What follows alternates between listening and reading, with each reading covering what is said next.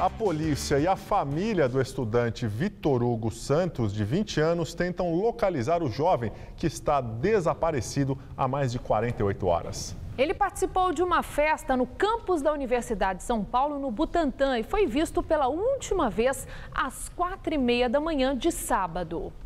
A Polícia Civil esteve hoje no velódromo da USP para investigar o caso, mas não falou com a imprensa.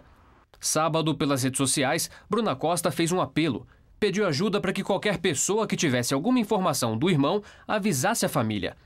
O pedido teve mais de 10 mil compartilhamentos na rede. Vitor Hugo Santos, de 20 anos, é estudante de design gráfico no SENAC e estava na festa da USP a convite de amigos.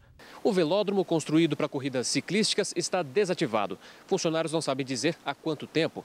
Foi aqui que a festa foi realizada.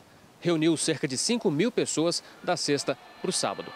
A festa era de 111 anos do Grêmio Politécnico da Universidade de São Paulo. Comemoração autorizada pelo campus. O anúncio do evento foi divulgado na faculdade e nas redes sociais. Qualquer pessoa podia entrar. Os ingressos variavam entre 30 e 90 reais. A festa, segundo o Grêmio Politécnico, começou na sexta-feira à noite e terminou às 6 da manhã do sábado. Às quatro e meia da manhã, amigos dizem que Vitor Hugo Santos, que estava com esta mesma camiseta na festa, se separou do grupo para pegar cerveja e não voltou mais. A festa era open bar, com bebida alcoólica à vontade para quem comprasse o ingresso. Ninguém da diretoria do Grêmio quis gravar entrevista, mas afirmou que está colaborando com as investigações da polícia. Já a empresa de segurança, que trabalha na festa desde 2010, afirmou em nota que no dia do evento não teve nenhuma ocorrência, seja de briga, seja de pessoas sendo retiradas da festa.